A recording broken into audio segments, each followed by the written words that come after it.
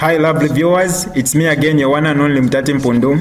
Welcome to my YouTube channel. If this is your first time on my channel, kindly subscribe to my YouTube channel by hitting the red subscribe button down below and turn the bell icon to join the notification squad. Don't forget to like, share and leave a comment. Tell me what you think about this video in the comment section below. I'll be super glad to hear from you lovely viewers.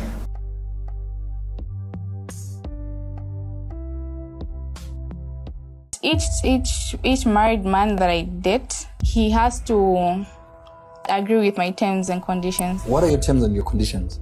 He puts me on a salary What? every month. Why can why can you date six married men? I give all of them blowjob. Ako kenaka nono ukuba kissing. Uh-huh. Tata twaishwe fifty kissing after when naleka. I don't look for men. They look for me. Um, so the age range, the oldest um, man among all of them, 53, I think. 53, Yeah. and you're 24.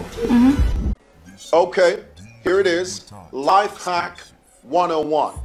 There is a difference between what you do in private and what you do on the internet. Listen to me, young people. Everything you do, everything you say on the internet lives forever.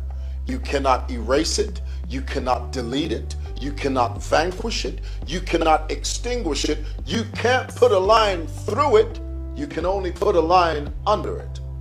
There's a story now of a young 24 year old girl that says she has uh, uh, uh, some type of sexual arrangement with six married men, and she talks about her escapades. Now, here's the thing she will never delete that.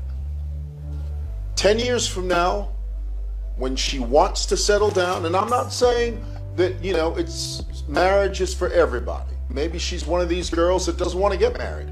But perchance, you got to keep in mind the Zambian context.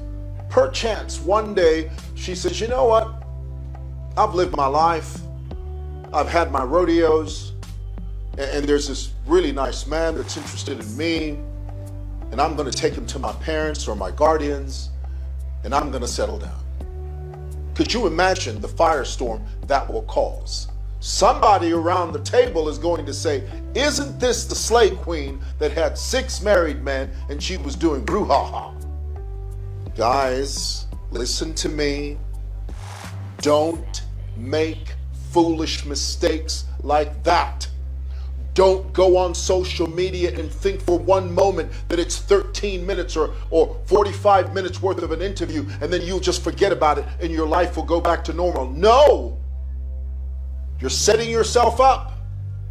What you do on the internet lives forever. Watch it.